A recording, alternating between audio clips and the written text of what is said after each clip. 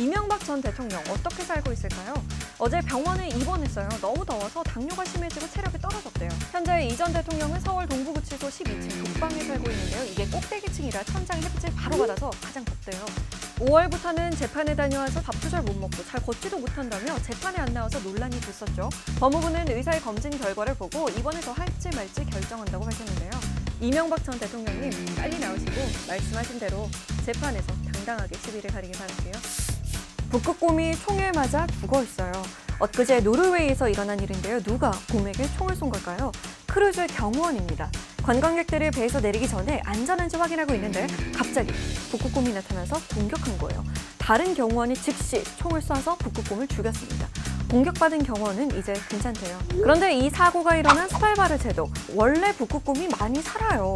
마을 사람들도 밖에 나갈 땐 항상 무장을 할 정도로요. 해당 여행사는 북극곰을 죽인 건 정당방위라고 밝혔습니다. 그런데 그게 최선이었을까요?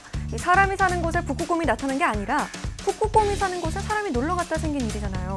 아이고 사람 살았으니까 됐다. 이럴 게 아니라 이제는 둘 다 사는 방법을 고민해야죠. 화분을 돌봐주는 로봇이 나왔어요. 얘가 어떻게 다육이를 키우냐면요. 햇빛이 필요할 때는 적외선 센서로 빛을 찾아 걸어 다니고요. 골고루 쓰다가 어 이제 조금 충분하네 싶으면 은 그늘로 다시 들어갑니다. 물이 필요하면 사람한테 알리려고 막 성질도 부리고요. 행성 탐사나 재난 구조 등의 용도의 로봇을 개조해서 만든 건데요.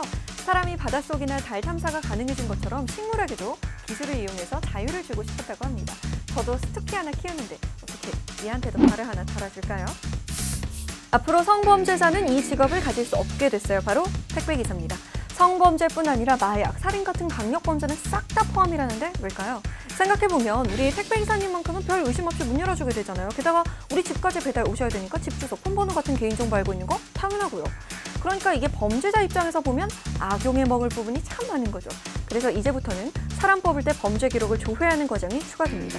민간 업체부터 우체국 택배까지 전부 다요. 이걸 계기로 더 마음 편히 서비스 이용할 수 있겠네요.